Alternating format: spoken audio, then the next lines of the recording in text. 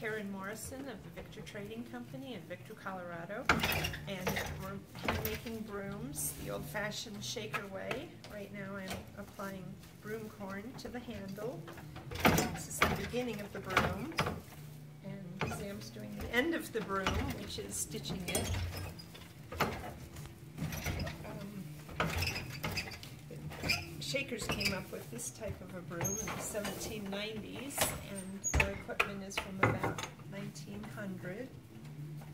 And right now I'll be starting to put on shoulders, which will be making the broom flat, which is what the shaker style broom is. Applying broom corn to each side. And the machine tensions the wire so the broom is nice and tight on the handle.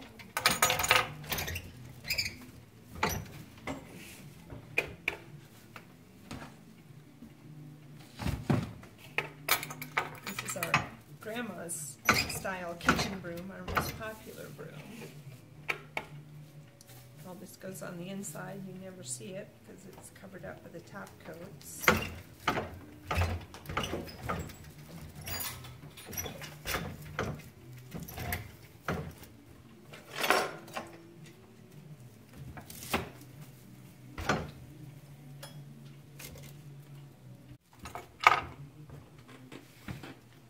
Stitching a broom, to do that you have a double-ended needle, threads in the middle.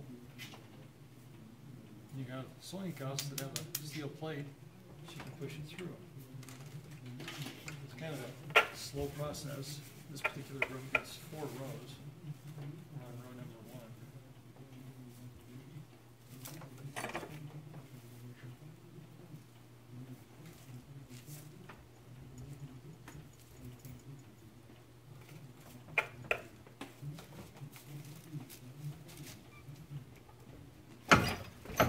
Tied off the end of the first row.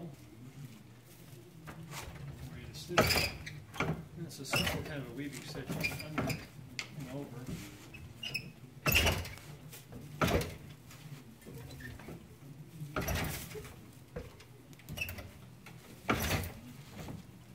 Start to needle with your fingers and push it through with your sewing block. Not so bad on the edges, but in the middle of the room it's quite tight and dense.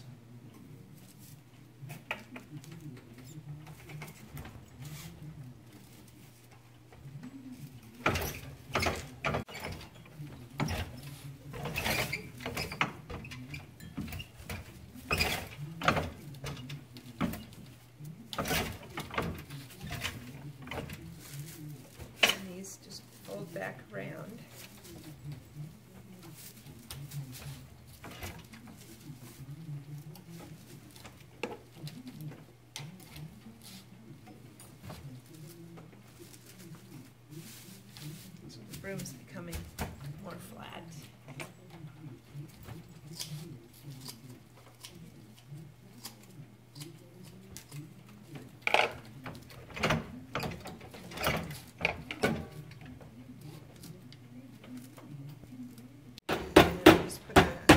rundown staple just to keep it from shifting.